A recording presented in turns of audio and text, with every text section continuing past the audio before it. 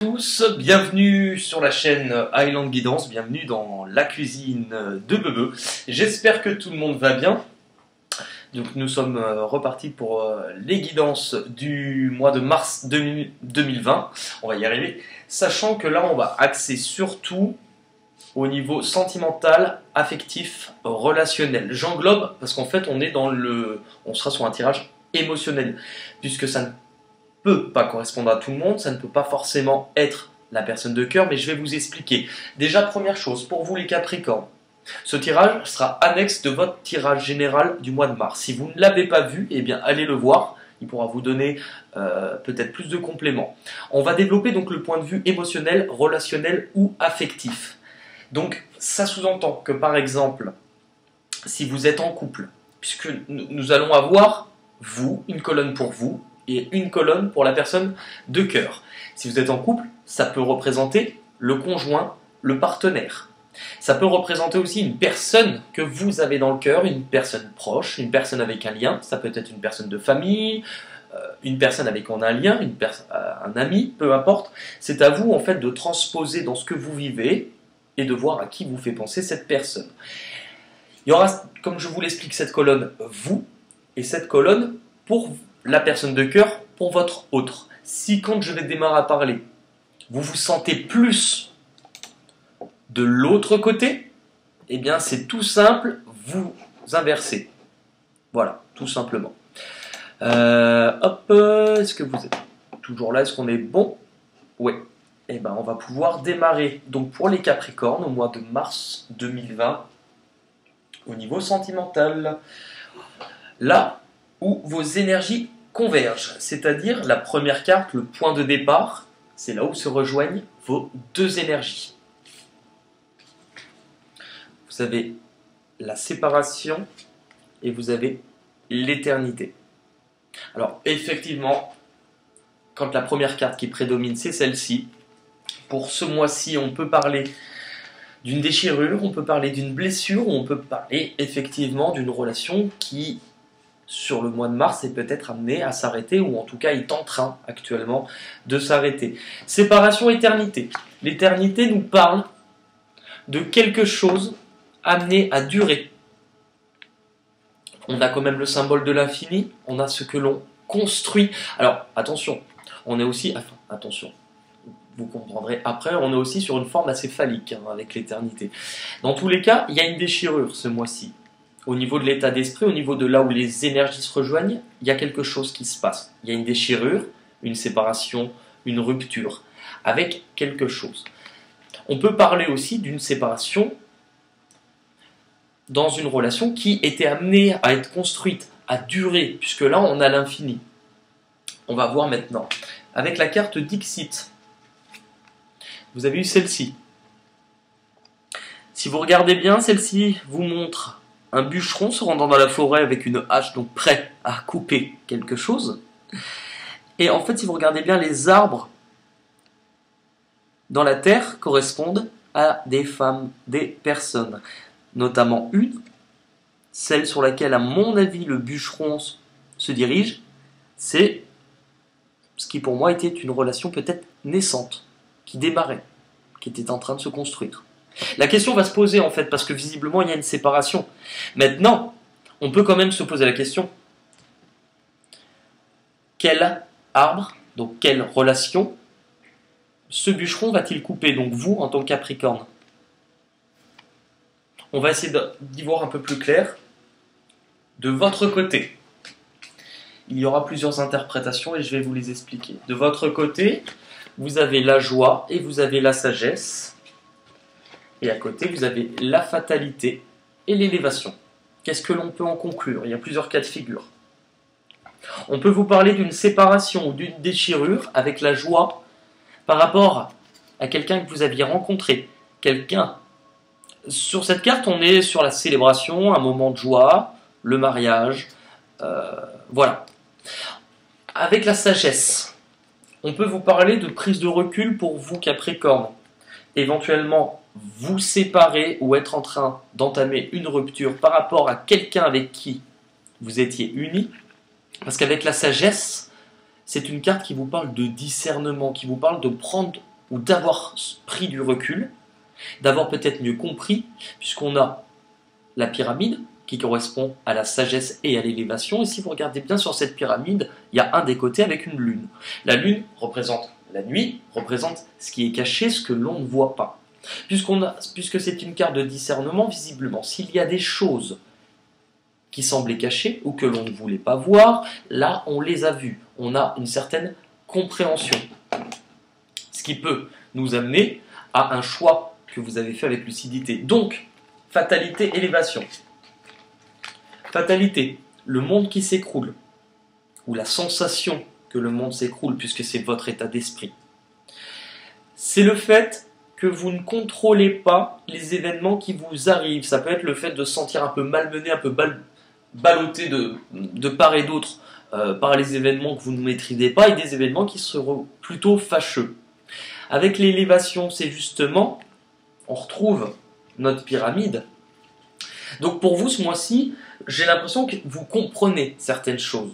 Soit vis-à-vis d'une personne avec qui vous avez été unis par le passé, soit par rapport à une rencontre plus récente, vous comprenez. Vous comprenez peut-être où cela vous mène. Vous comprenez peut-être qu'il vous faut aller de l'avant, car actuellement, c'est comme si les choses que vous ne maîtrisez pas vous font perdre un peu pied. Il y a, par contre, une troisième interprétation. Puisque vous avez, en premier lieu, la carte de la séparation. On nous parle de sagesse, de lucidité, de discernement par rapport à ça. Il n'est pas improbable que pour certains, donc le message devra parler à qui devra parler, il n'est pas improbable que pour certains, vous entamiez une séparation ou une rupture ce mois-ci par rapport à une autre personne que vous rencontrez.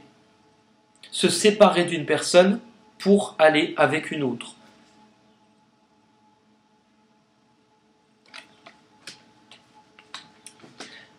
Et vous avez celle-ci, justement, en troisième carte, Dixit. Pour moi, là, on est quand même sur une invitation, sur une préparation, sur un désir. On a une jeune femme, enfin, enfin on peut dire une femme, caméléon, qui est en train de s'apprêter, qui se regarde dans un miroir. Si vous regardez bien, donc c'est son reflet, mais sur l'image, même s'il y a le reflet, ça vous fait voir combien de personnes? Deux. Le choix. On va aller voir maintenant du côté de votre autre. Alors, pour éviter de dire du côté de votre autre, on va ça fera un petit rappel à Dev au niveau de la chanson, on ira dire du côté de chez Swan. Il est bien évident que Swan n'est pas forcément un homme, ça peut être une femme. On parle de la, de la personne de votre cœur. Pour cette personne, échec, nadir, tranquillité et eau. Alors visiblement, la personne dont on vous parle pour vous, les Capricornes, ce mois-ci au mois de mars, on vous parle d'une personne qui a sans doute du mal actuellement avec ses émotions, Quelqu'un qui a du mal à se sentir en paix, à se sentir tranquille, à être en harmonie. C'est quelqu'un qui est actuellement peut-être dans un échec, dans une perte d'espoir, un peu dans du marasme, donc une ambiance qui est un petit peu plus dans le désespoir. Cette personne est malmenée en ce moment. Plusieurs interprétations, je vous les explique. Vis-à-vis de cette personne, elle peut être vis-à-vis de vous, pardon, en échec. Sentir qu'il y a quelque chose qui ne se passe pas. Là, on est sur la fin, sur du désespoir, mais il y a toujours une espèce de lueur d'espoir. Tranquillité et eau. Donc cette personne peut-être qu'actuellement elle est malmenée, qu'actuellement elle a du mal à récupérer une belle énergie, qu'elle a du mal avec ce qu'elle ressent. C'est comme si ça bouillonnait à l'intérieur, qu'elle les moyens, qu'elle perd... C'est difficile au niveau émotionnel, mais c'est là le travail qu'on demande à cette personne actuellement s'il y a des choses qui ne se passent pas comme prévu dans sa vie, c'est tout simplement parce que cette personne doit se recentrer sur ses émotions, doit se recentrer sur ce qu'elle ressent, doit s'occuper d'elle. On parle de la personne, d'où le féminin. Avec la carte Dixit, vous avez celle-ci. On parle d'enfants perdus dans une espèce de vieille bâtisse avec euh, sous des voiles des, personnages qui ont l'air plutôt menaçants. Cette personne, pour moi, Actuellement, elle est peut-être sous l'emprise ou sous l'influence de vieux démons, de vieux schémas, de vieux démons, chose peut-être due à son enfance ou à son passé. Des choses qui, euh, dont la personne a peut-être lutté pendant un moment, mais qui la rendent pas forcément instable émotionnellement, mais qui la rendent peut-être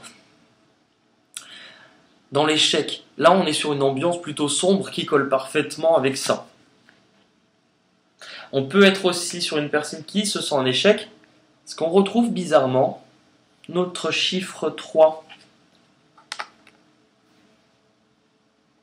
Enfin là, vous allez me dire, il y en a 4. Mais parce qu'il y a cette chose nouvelle.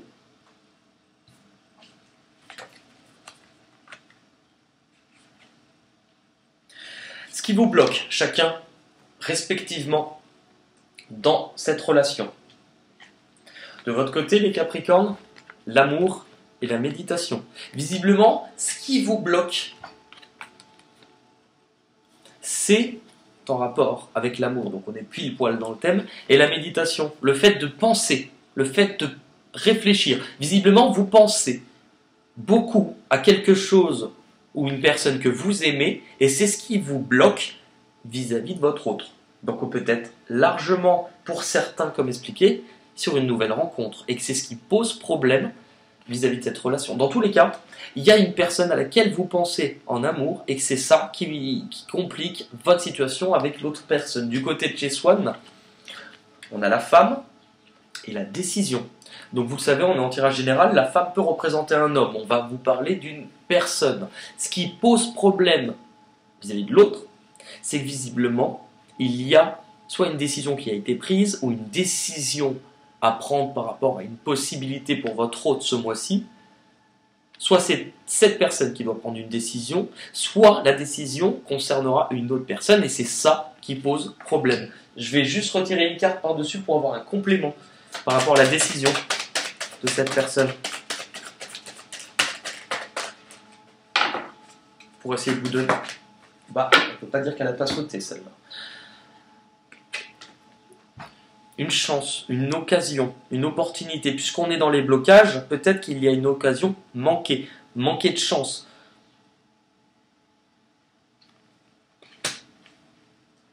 Là, on va voir l'évolution sur le mois de mars, donc sur les choses qui vont être, qui vont être amenées à, à, se produire en termes d'énergie. Donc de votre côté, les Capricornes, vous avez le retard et la tentation. C'est-à-dire que on vous dit que par rapport, c'est-à-dire, hein, qu'on vous dit que par rapport à la personne en face, la personne de votre cœur, il y a certaines choses qui sont retardées. On l'a bien vu, de toute manière, sur euh, quelque chose qui été freiné par rapport à votre évolution, cette sensation d'avoir des événements que vous ne contrôlez pas, qui vous coupent un petit peu l'air sous le pied, ou qui vous coupent littéralement les ailes, un peu de manière brutale. Là, on vous dit que pour l'instant, il y a des choses qui ne se sont pas produites ou des choses qui ont été retardées. On peut être aussi sur un départ. Là, si vous regardez bien, on a un personnage qui arrive, peut-être trop tard, puisqu'il a raté une occasion. Il a raté le train. Par rapport à quoi on vous dit? Par rapport à la tentation.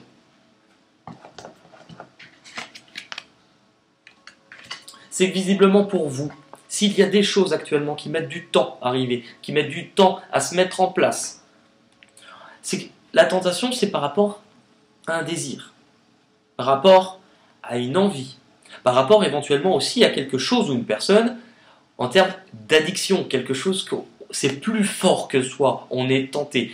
Mais avec la tentation, on ne sait pas si c'est bon pour nous. Ou peut-être qu'on a une alerte à l'intérieur qui dit oui, bah, malgré tout le désir, malgré toute la pulsion que tu peux ressentir, tu ne sais pas si c'est bon pour toi. Ou peut-être que tu le sais, mais que c'est plus fort que toi. Enfermement delta. C'est-à-dire que, puisqu'on vous dit que les choses vont être un peu retardées, puisqu'on vous dit que vis-à-vis d'une envie, vis-à-vis d'une pulsion, d'une tentation, de quelque chose qui peut paraître alléchant, tentant, ou quelque chose sur lequel vous êtes accro, vous risquez de vous sentir seul. C'est soit vous risquez de vous sentir seul, délaissé, ou alors que vous allez, de votre propre fait, vous isoler ce mois-ci. Mais dans tous les cas, ça sera vécu comme une solitude. Pourquoi? Parce que vous allez vous rendre compte, deux cas de figure, c'est soit parce que, regardez, on retrouve notre chiffre 3, parce que vous avez une vision, parce que vous ouvrez les yeux sur quelque chose pour lequel vous éprouvez du désir. c'est quelque chose à laquelle vous pensez, et c'est ça qui est difficile pour vous. Donc du coup, c'est peut-être par rapport à quelque chose dont vous ouvrez les yeux que vous risquez de vous sentir seul. On retrouve notre chiffre 3, éventuellement d'être perdu entre deux personnes ou deux situations, où on peut switcher votre situation à l'inverse. C'est que vous avez peut-être, dans ce moment de solitude, besoin d'ouvrir les yeux sur quelque chose d'autre qui se trame. Naissance et énergie. C'est qu'on vous dit bien, visiblement, qu'il y a soit une personne que vous avez rencontrée, soit quelque chose qui est en train d'arriver dans votre vie, la naissance, vous êtes sur un nouveau chemin, quelque chose qui vous redonne quand même une espèce de pêche, du positif. Donc ça vient vraiment dans l'ordre. Et ce que l'on vous dit avec la carte Dixit, c'est une fleur, des papillons, donc on parle de libération, de transformation avec la chenille qui se transforme en papillon. Mais qu'est-ce qu'elle apporte cette transformation? La clé. Elle apporte du coup une solution. Visiblement, la solution viendra de quelque chose qui se transforme, puisqu'on passe de l'étape de chenille dans sa chrysalide, dans son cocon, pour germer. Donc il y a bien quelque chose ou une solution qui sera apportée mais on vous dit que cette solution viendra de quelque chose de votre côté qui sera transformé ou que vous devrez apprendre à transformer ce mois-ci. C'est ce que l'on vous dit aussi avec celle-ci. Avoir une vision différente. Du côté de chez Swan. Du côté de chez Swan, bah tiens. Cette personne, alors elle a la santé et elle a l'isolement. C'est-à-dire que cette personne, un peu comme vous finalement, peut être, puisqu'on l'a vu dans un, moment difficile, avoir du mal avec ses émotions, se sentir peut-être seul, isolé. Mais avec la santé, alors on peut parler du travail, quelqu'un qui est accaparé, qui n'a peut-être pas le temps pour vous parce que cette personne travaille beaucoup en lien avec un milieu médical. Mais on est la santé, on est aussi sur le besoin de guérir cette personne, puisqu'elle a, à mon avis, des vieux schémas où elle se bat avec des vieux démons, des vieilles, des choses du passé.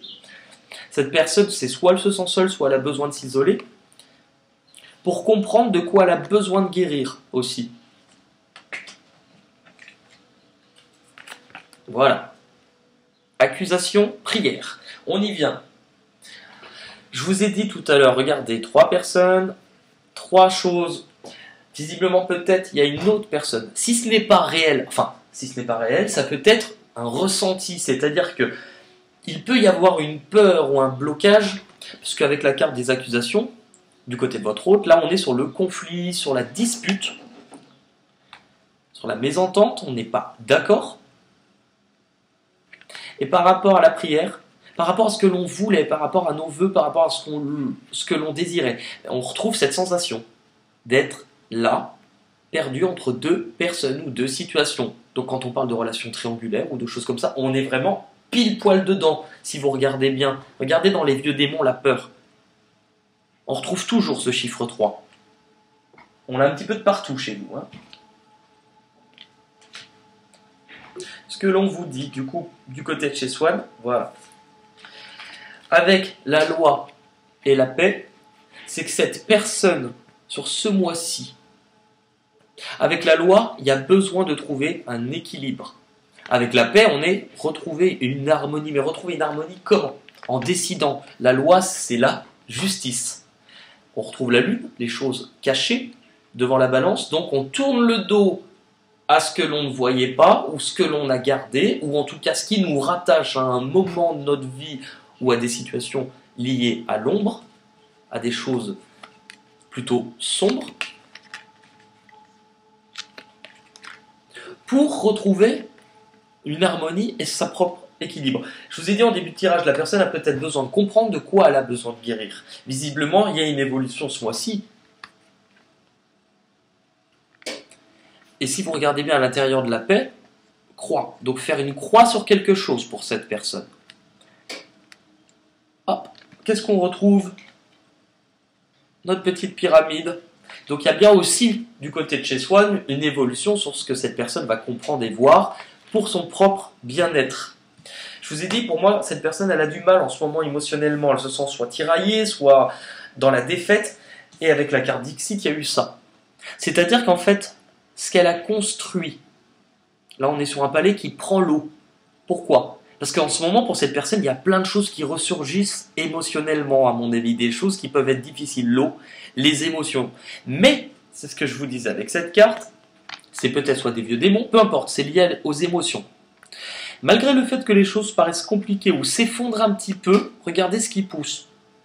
Des lotus, des nénuphars ou des lotus, peu importe. Donc ce sont des fleurs qui poussent dans le noir, dans la boue, dans la pénombre, dans l'eau, les émotions, avant de sortir. Donc on vous dit bien qu'il y a émotionnellement des choses très compliquées pour cette personne dont elle n'arrive pas forcément toujours à voir l'issue ou à y faire face. Mais on passe quand même de ce stade où on est dans la pénombre. Et là, regardez, hop, ça sort. Donc visiblement, cette personne, elle a quand même une évolution ce mois-ci. Ce que l'on vous conseille, chacun, respectivement, chacun de votre côté, pour vous en tant que Capricorne, en tant que Capricorne, ça fait, on dirait chevalier de la table ronde, vous, en tant que Capricorne, en mars 2020, on vous dit bien de rester dans l'amour par rapport à quelque chose de nouveau une nouvelle personne, une nouvelle idée, une nouvelle proposition, il y a quelque chose. On vous dit de vous concentrer sur l'ouverture de cette chose. On vous dit aussi de ne pas fermer votre cœur. Regardez ce que l'on a ici. C'est quoi? C'est une clé. Bizarrement, la dernière carte qui était avant vous parlait d'une solution trouvée. Il y a bien quelque chose qui va arriver ce mois-ci pour vous. Cette clé, et à mon avis, elle est à l'intérieur de vous, donc c'est quelque chose que vous allez comprendre ce mois-ci, elle va vous permettre d'ouvrir une porte vers l'amour. Mais attention, regardez ce qu'on retrouve. Il y a une croix sur l'amour. On retrouve notre chiffre 3. Là, on retrouve notre vision qu'on a eue depuis tout à l'heure. Avoir peut-être une vision différente en amour, peut-être se libérer d'un ancien lien, mettre une croix sur une histoire. Visiblement, il y a quelque chose de nouveau, mais qui vous demande de vous séparer d'autre chose. Et avec le laurier, on est quand même sur une victoire pour vous, même si ça paraît difficile. Du côté de votre autre, de chez Swan, on a la clairvoyance et le sacrifice. Donc tout tourne autour de ça. Ce que l'on vous dit, c'est pour cette personne, ce que l'on lui conseille, c'est d'ouvrir les yeux, d'être dans la clairvoyance, de se rendre compte peut-être d'un choix. C'est rigolo parce que cette personne, dans ce qui bloquait, c'était un choix ou une décision. Donc vous voyez, il y a bien une évolution. Ce qu'on conseille à cette personne, c'est d'avoir une vision différente, plus éclairée, d'ouvrir les yeux sur une situation. On a les rêves, mais en même temps la lune qui correspond toujours à la nuit, ce qui se passe la nuit, ce qui est caché, qui concernera un sacrifice, qui concernera quelque chose de douloureux, qui est nécessaire, c'est de devoir couper un lien. Donc ça se raccorde, mais totalement. Il y a des choses à couper des deux côtés chez vous. L'issue du tirage, donc pas l'issue de votre vie, hein, qu'on soit bien d'accord, mais l'issue à ce stade de la relation, vous avez eu l'étranger, vous avez eu la guérison. Donc on vous parle peut-être à ce stade, niveau mois de mars 2020, d'un éloignement avec l'étranger, ou de quelque chose qui demande du recul, quelque chose qui vient de loin également.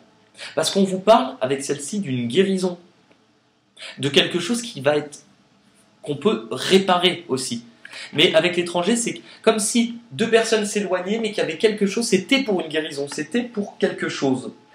Pourquoi? Parce qu'avec la dernière carte, vous avez celle-ci. C'est-à-dire qu'on a un arbre calciné, on retrouve en fait finalement exactement plus ou moins le même symbole, la déchirure au milieu. Mais si vous regardez de cet arbre calciné, qu'est-ce qui se passe? Il y a des nouvelles branches. Il y a quelque chose de nouveau. Puisque c'est la carte finale, elle concerne autant bien vous que l'autre. Maintenant, elle ne nous dit pas si c'est ensemble ou chacun de son côté. Mais là, on est sur quelque chose qui démarre. Après, on n'est pas, loin sur les cendres, mais le début de cet arbre est plutôt calciné, mort. Donc il y a quelque chose qui revient. Ça, ça sera à vous d'adapter. Avant de terminer ce tirage, on va procéder à quelque chose que vous avez peut-être déjà vu, que j'avais appelé ma boîte à farfouille. Donc ce n'est pas la boîte à gris-gris d'ERA, c'est le jour où j'avais dû limiter sur ces vidéos des énergies. Euh, je devais reproduire du coup sa boîte à gris-gris. Moi, enfin, j'ai trouvé ma boîte à farfouille qui sont les fèves de ma maman. Donc vous la remercierez chaleureusement. C'était une histoire de rendre un petit hommage à Hera, bien qu'elle ne soit pas morte. hein. Un hommage de son vivant. On va regarder pour les Capricornes pour le mois de mars 2020 au niveau sentimental. Oreilles sensibles s'abstenir. Pour les Capricornes, sentimental au mois de mars 2020. Alors, avec la fée d'Ilila, on vous parle peut-être d'un vœu exaucé. Vous avez le dompteur. Le dompteur avec un vœu exaucé vous parle aussi de ne pas vous laisser accaparer par vos rêves, par, vos illusions, ne pas vous laisser dominer par ce que vous rêvez pour permettre de les concrétiser, de dominer ces choses-là. Vous aurez sans doute, avec le jour de foot, une action, quelque chose qui va être fait, décidé, où vous vous dirigez. Mais puisqu'il est accolé à celle-ci, là on vous demande un retour en arrière ou un retour sur le passé, de regarder derrière vous. Pourquoi? Parce que vous avez l'éléphant. Alors vous allez me dire, ouais, super, c'est la sagesse. Pas celui-là, j'ai un autre éléphant qui correspond à la sagesse. Là, on est sur la tromperie. Vous allez me dire pourquoi Tout simplement parce qu'un éléphant, ça trompe énormément. En fait, puisqu'on utilise des fèves, c'est quand même compliqué d'avoir des fèves qui correspondent à la tromperie, la trahison. Donc, j'ai adapté chaque fève avec une émotion ou quelque chose que je ressens. Celle-ci trompe en bas, on est sur la tromperie. Donc, vérifier, retour sur le passé, rapport à une tromperie, à cause de quoi? Avec Gandalf, avec Gandalf, on est sur le magicien. On est sur tout ce qui est attrait au spirituel, au troisième œil, à la vision, donc c'est rigolo. Y voir plus clair. Avec Gandalf, on pourrait vous dire attention, vous ne passerez pas. Donc quelque chose de difficile. Vis-à-vis de quoi? Vis-à-vis d'un cadeau, vis-à-vis d'une célébration, vis-à-vis d'un moment qui va vous rendre quand même heureux. Mais là, regardez ce Père Noël, il est entre deux sapins. Donc c'est compliqué entre deux choses. hein. Du coup, on vous parle de ruse et de malhonnêteté avec le renard, de quelque chose qui est tapis. Avec la poule, c'est quelque chose qui est gardé depuis longtemps. Ce qui est gardé depuis longtemps, avec l'ange qui se libère, on parle quand même d'une libération d'émotions. Je vous ai dit, regain d'énergie par rapport à l'ouverture de quelque chose. Avec dormeur, on vous parle peut-être de choses qui se passent la nuit. On vous parle aussi de fatigue et d'avoir besoin de réfléchir. Donc on est en plein dedans. Pourquoi? Parce que vous avez le petit prince à côté. Le petit prince qui peut être lié à l'enfance, mais dans ce cas-là, qui vous parle de prendre le temps par rapport à une hésitation, de devoir réfléchir vis-à-vis d'une autre personne. On a Cléopâtre, quelqu'un d'un peu rigide et quelqu'un de, quand je dis royal, mais quelqu'un de fier, quelqu'un qui se tient droit. Pourquoi? Parce que là, on est de nouveau sur la méchanceté, la malhonnêteté, la trahison, quelque chose de caché, quelque chose de sournois. Malgré la nostalgie du passé avec le clown, on est sur des beaux moments de joie, mais on est aussi sur de la nostalgie. Des moments liés à votre passé. On vous dit de garder le cap avec les golasses sur le but que vous vous êtes fixé. Eh bien écoutez, j'espère que ce tirage vous a parlé. Si vous avez aimé, n'hésitez pas à commenter. Et pour le coup, si vous n'avez pas aimé, bah, là vraiment, abstenez-vous, hein, ça sert à rien. Dans tous les cas, je vous fais de gros bisous et je vous dis à très vite pour de nouvelles vidéos. À ciao, bonsoir